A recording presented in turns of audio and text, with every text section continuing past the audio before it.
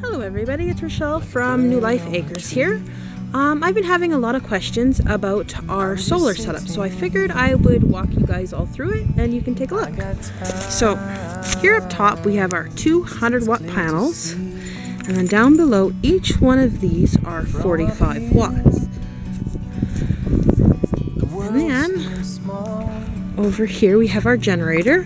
Hasn't been turned on in the last about month, month and a half. And then we have our battery bank.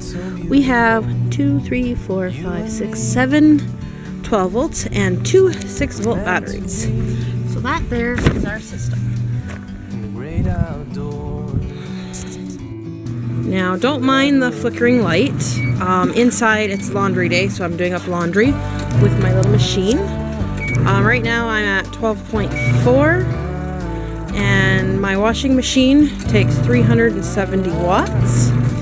I am bringing in 14 to 13 kind of thing.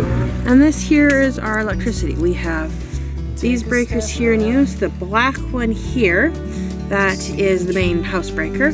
This one here is bathroom, kitchen, kids room.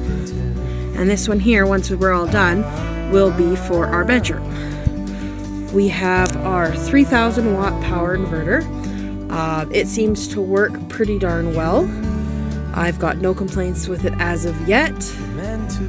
Um, so yeah, this is kind of our solar setup. Works fairly decent. Now we got it from a friend. We were told that it works. It does not.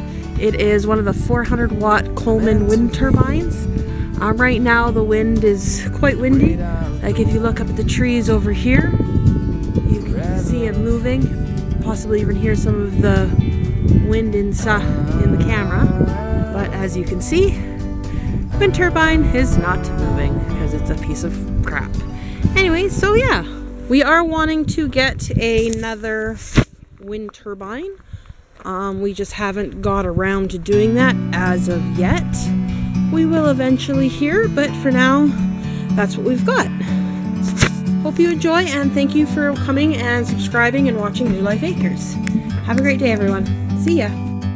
Like a bird on a tree